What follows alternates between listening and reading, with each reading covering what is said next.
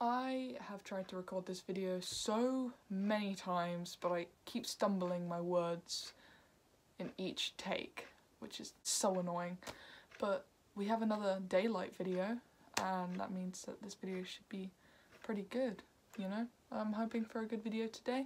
Hello all again, and today we're not going to be doing a box set video or a tag video. We're going to put those aside just for today because I'm going to do a video that inspired me to make a channel and hopefully will inspire others to start up a record collection. So my video today is tips for starting up a record collection. Now I think this is an important video to make purely because I'm a young person and maybe young people who are trying to get into the record and vinyl community but don't know how, don't know where to start. So that's why I'm here talking to you about what I did, how I started, because I was very young when I started out my record collection, what I did, tips and tricks, etc. So I hope you guys enjoyed this video. There'll probably be another box set video coming tomorrow, but today I'm going to tell you how to start up a record collection. So the first thing you want to do when starting out your record collection, when you're you know, you're thinking about buying your first album, is when you're about to buy your first album, make sure it's an album that you love. Maybe it's your favourite album or close to your favourite album, but something that you know that you're going to get a lot of use out of because you don't want to buy an album that you don't know anything about and you don't want to buy an album that you know one or two songs from because what will happen is you'll buy that album because you love those couple of songs and you'll play them for those songs and then eventually that album will start collecting dust because you don't know the album that well and you won't get a lot of playing out of it. Start with an album you know front to back, maybe you don't like one or two songs from that album, but you gotta know the majority of the album if you wanna start off your collection strong. You know, you wanna buy something that means something to you because you're gonna play it a lot, and because records are so expensive, you know, you'll be saving up for records and you might only be stuck with a couple of records. So you've got to make sure that they are your favourites and ones that you don't get tired of very easily. For example, mine was a Bring Me The Horizon album. It's long gone from my collection now because I don't listen to them anymore, but it was my first album. It meant something to me then and a small part of me still loves that album. And that brings me to the point of, you know, it's something that's got meaning to you. Something that you know you're going to listen to a lot. Number two, storage. Now, I personally store my albums on shelves and in those vinyl boxes that you can get on Amazon or whatever.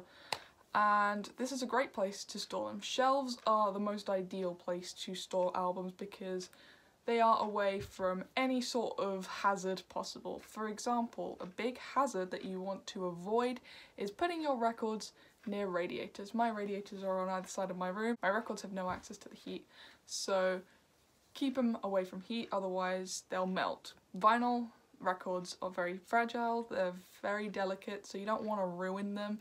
So you want to keep them away from heat, otherwise they will melt. Another point adding to that is stack them vertically, because if you stack them on top of each other like this, then they're going to warp.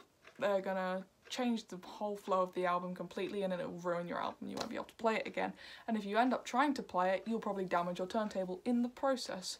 So you want to make sure that they are stacked vertically, whether that be on a shelf or in a box, somewhere away from heat, and definitely not stacked horizontally on top of each other. Number three. Now this is an optional thing, but I would highly recommend this. Buying plastic vinyl sleeves. Now let me show you what I mean. So these plastic sleeves. You take the album? And just slot it in like that, put it in your shelf, and what that does is that can prevent ring wear and it can also just protect the sleeve itself from any creasing or any damage in general, so it kind of keeps them preserved. So that's something I do recommend, not at all something you need per se, but something that I do recommend as you can probably see on some really old albums. I'll find an example.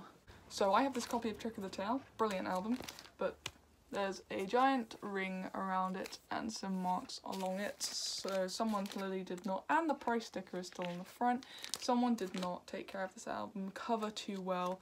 But something like this copy of Wind and Wuthering, which has no marks at all on it, and it's an old pressing, this album has been in a sleeve pretty much all its life. If you are that cautious about keeping your vinyl sleeves intact and looking as mint as possible, I recommend getting those sleeves.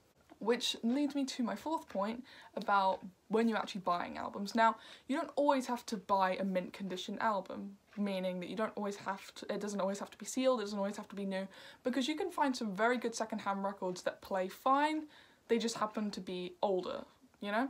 Because I've got some copies of albums I've not been able to find as reissues. For example, I have this copy of the first Emerson Lake and Palmer album. From my knowledge, this hasn't been reissued, but this is a near mint copy and it plays just as well. So if they reissued this album, for example, I think it would sound just as good as this copy already does. And they end up working out cheaper. So you can go to a record store and you don't have to pay 20, 30 pounds for an album. You can end up paying like 10, 15 for a near mint condition album and it will play just as nicely as a mint condition.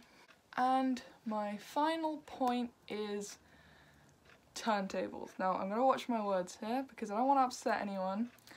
And so this is my record player here. I'll do a little close up in a minute. So here is my record player.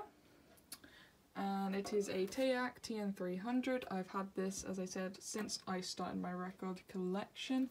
There's my lovely Rush slip mat from my 2112 box set. I've had this record player for five years, changing the stylus every so often so that I don't ruin my albums.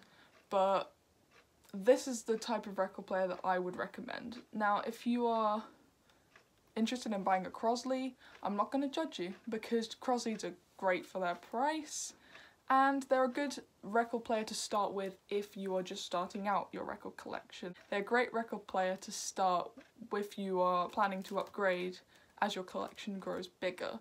Now, if you are like me and you care about audio quality, you can choose to get external speakers and an amp. But if you are not fussed about audio quality and you just want to play your albums on something that's not a CD player or a download, by all means get a Crosley. I think that they personally don't sound as good as mine or as someone else's, but they'll sound good to someone else. So that's something that you've got to take into consideration, which kind of relates back to my first video. That is the end of today's video. Thank you guys for the comments on yesterday's video. I'm feeling a lot better today. I'm hoping to go back into work tomorrow. Thanks for the support. Nearly 250 subscribers in less than a month. That's insane and I'm so grateful and thankful for all of the support and all the negativity. It's fun to look at negative comments and try and reason with people who might just not understand where you're coming from. Tomorrow's video will probably be another box up video or a vinyl tag video. Um, I thought this video was important for people who are just getting into record collecting and don't know what to do. I hope you guys enjoyed today's video. If you did, let me know. And Oh, question. What is your guys' favourite album of all time? Let me know and I will try and respond to each comment. Okay, see you later.